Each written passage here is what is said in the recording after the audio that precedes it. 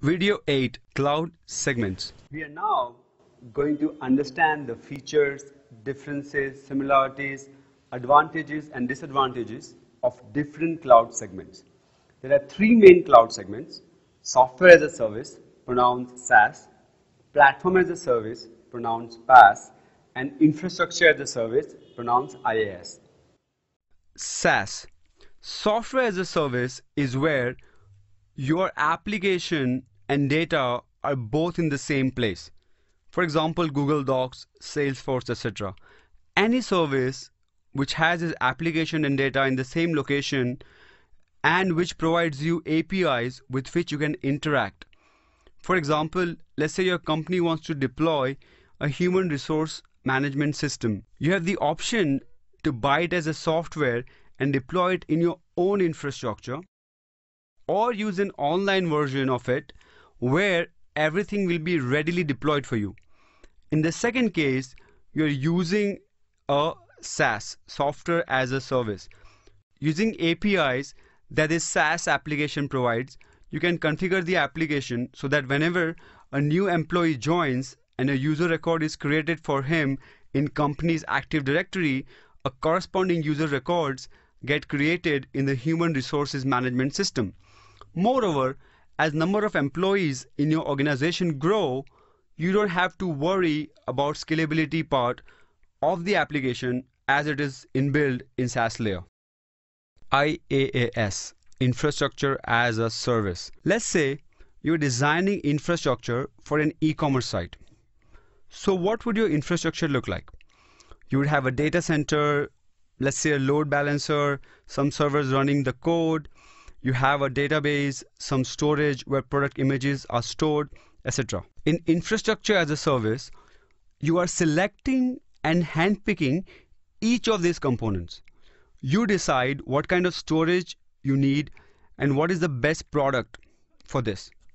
You would potentially go with either Amazon S3 or Azure Blob Storage or something like that.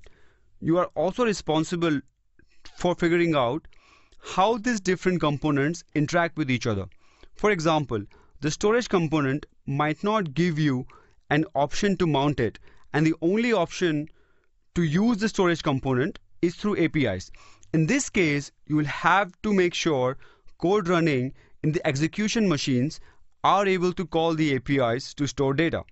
And if the storage service allows you to mount and that works better for you, you might just do that. Each of these services is behaving like an individual building block where you can pick and choose where you can plug in the service to power your application.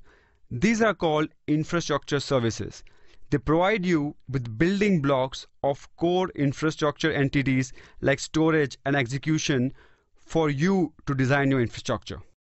Here, once the infrastructure is provisioned, you can use it in any ways you wish to, but you are also responsible to make sure things are up and running. For example, a virtual machine might have been provisioned for you, but it will be your job to make sure a web server running on this virtual server is not down.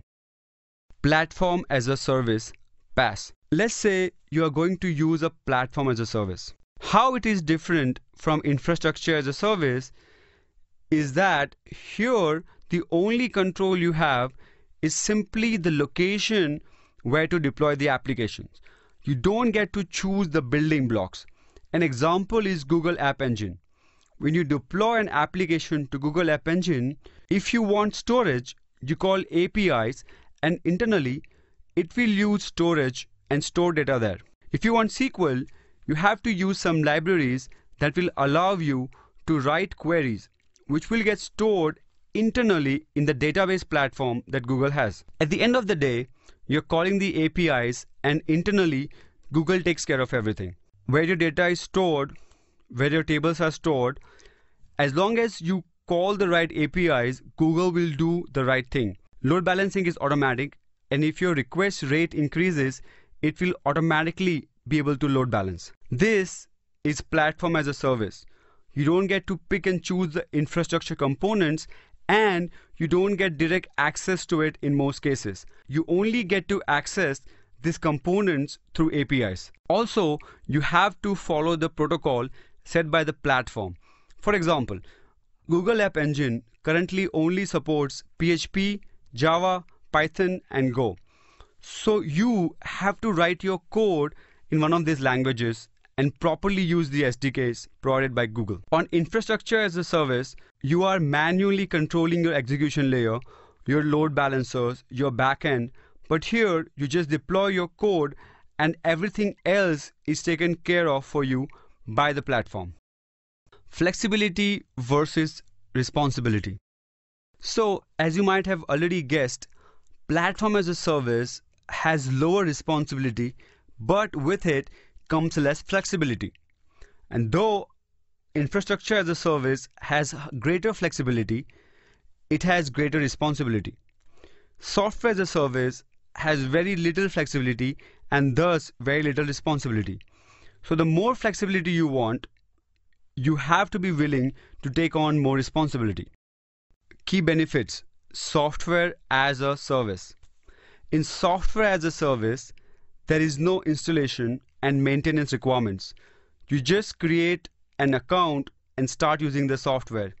In software as a service, there are no upfront licensing costs. In most cases, software as a service gives you the ability to access the application from anywhere with just an internet connection.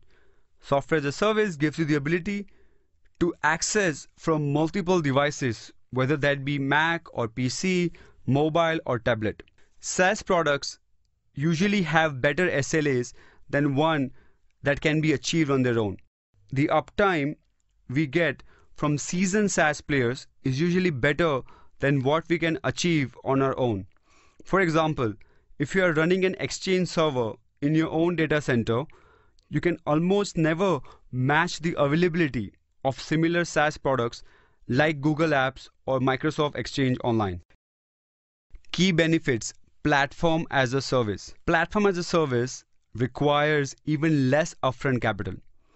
As you are just deploying code to the platform, and most platforms only charge you once your app is used a lot, you can start up an app for almost free. Using platform as a service requires less knowledge and skill to develop and deploy applications. While using infrastructure as a service, you will need to know things like how the network works, how the storage is set up, etc. In the platform, all you need to know is the APIs. Thus, even someone who has no idea about how load balancers and routers work can potentially write a very successful and scalable application with just the good knowledge of APIs. While using platform as a service, you pay for only the resources used Mostly the billing is based on the CPU cycles you use and the bandwidth. Using platform as a service allows for easy and rapid scaling. With PaaS, you are able to scale faster than infrastructure as a service and the platform takes care of most scaling needs. Using PaaS leads to rapid time to market. In infrastructure as a service, you would still have to architect different components of your IT infrastructure. Here, you just have to code and deploy. PaaS takes care of non-core but critical platform components. Using PaaS leads to drastic reduction in IT staff required for software maintenance. In infrastructure as a service, the hardware is not your problem, but you would still require software maintenance team to do the patching, upgrading of software, etc. Here, you don't have to do anything like that. The platform takes care of it for you. Key benefits infrastructure as a service. Infrastructure as a service gives you very high flexibility. You can pick and choose each of your infrastructure components, even use components from different providers. You are not bounded by any particular programming language like platform as a service. Using infrastructure as a service leads to drastic reduction in upfront capital investment because you can provision these resources from the cloud. Infrastructure as a service allows you to scale easily and rapidly. But of course, an architect is needed to be able to design the scale up and scale down. You pay for only the resources you use, you pay for what you consume. If you use more servers, you pay more. If you use less servers, you pay less. using infrastructure as a service leads to drastic reduction in IT support, networking, and system admin staff required for maintenance. Your need for people doing networking, IT support, system administration is reduced. Some personnel might be required, but it is drastically reduced. Infrastructure as a service takes care of non-core but critical infrastructure components. In this video, we have taken a look at different segments of the cloud, how they are different from each other, and what are the key benefits of each of them. In the next video, we'll take a look at various cloud deployment models.